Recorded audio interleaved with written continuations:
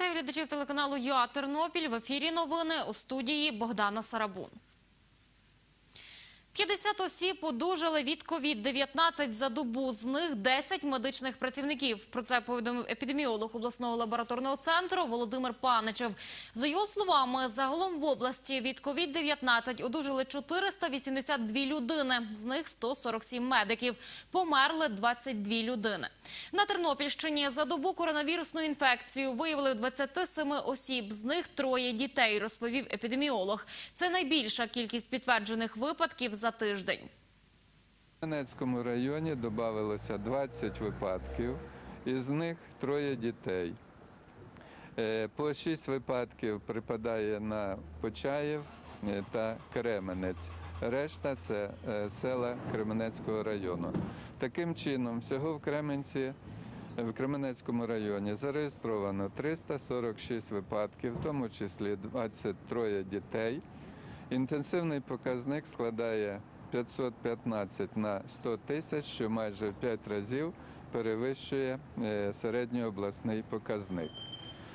Е, Чотири випадки за добу додавалося в Монастириському районі. З них одна дитина. Е, Всього станом на сьогодні в Монастириському районі зареєстровано 193 випадки, з них 9 дітей. Інтенсивний показник складає 729,8 на 100 тисяч, що в 7 разів перевищує середньообласний показник.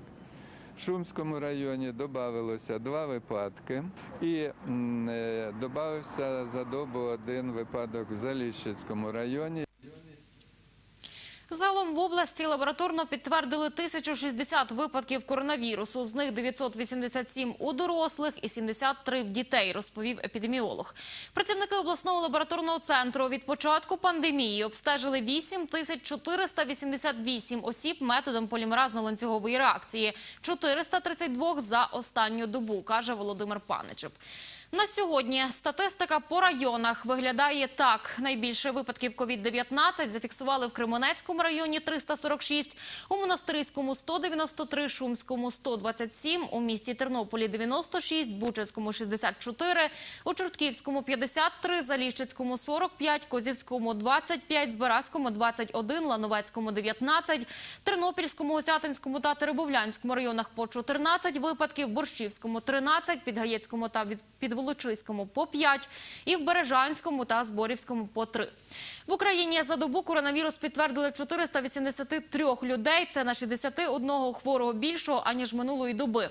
Загалом, як повідомив міністр охорони здоров'я Максим Степанов, на сьогодні в нас 17 тисяч 330 лабораторно підтверджених випадків COVID-19. З них 4 тисячі 473 пацієнти вже одужали, померли 476 людей. На цій карті ви бачите, скільки випадків COVID-19 виявили в кожній області України. Найбільше у Чернівецькій – 2600, далі йде місто Київ – 2068 та Івано-Франківська область – 1188. Тернопільщина сьогодні на п'ятому місці – 1060 випадків. Найменше у Луганській області – 42. Це дані з підконтрольної Україні території. Через заборгованість споживачів з 22 травня тернополянам можуть відключити гарячу воду. Про це повідомив заступник директора Тернопільміськтеплокомуненерго Богдан Миськів. За його словами, загальний накопичувальний борг з 1995 року становить 80 мільйонів. Щоб запобігти відключенню, необхідно заплатити щонайменше 6 мільйонів. Нарахування за березень місяць, оплата яких прийшла в квітні, склали 40 мільйонів гривень, а оплатили мешканці міста 36 мільйонів. Тобто десь е, оплатили 90%, процент оплати складає 90%. Це непогано в наших умовах, тим більше, що ми працюємо всі в умовах карантину. Але, на жаль, є ще деякі, е, існує ще на сьогоднішній день заборгованість. Вона складає 80 мільйонів гривень на сьогоднішній день. 80 мільйонів гривень це нарахування одного місяця, холодного місяця, скажімо, нарахування січня місяця, коли температура середня мінус 0,5 градусів. Це такі в нас нарахування. І, на жаль, оця заборгованість 80 мільйонів гривень, як я вже сказав, не дозволяє нам е, вчасно розраховувати за постачання електричної енергії. І ми отримали офіційне попередження від, е, від е, наших поставщиків, які поставляють нам е, електричну від енергію, від Тернопіль електропостачу. Оце офіційне попередження від 6.05. 2020 року тут написано, що в разі, якщо ми не погасимо заборгованість, а ця заборгованість складає приблизно 6 мільйонів гривень, то 22 травня 2020 року е, нам припинять подавати електричну енергію на наші об'єкти. А якщо припинять е, е, Якщо буде припинено подання електричної енергії, не зможуть працювати котельні, не зможе бути, не зможуть запустити виробничий процес, і в домівках тернополян може зникнути гаряча вода. За словами Богдана Мицьківа, у Тернополі є абоненти, щодо яких винесено по 5-6 судових рішень про відшкодування заборгованості. Працює виконавча служба над цими боржниками. Це питання просто часу, щоб стягнути цю заборгованість. Є квартири, які мають велику заборгованість.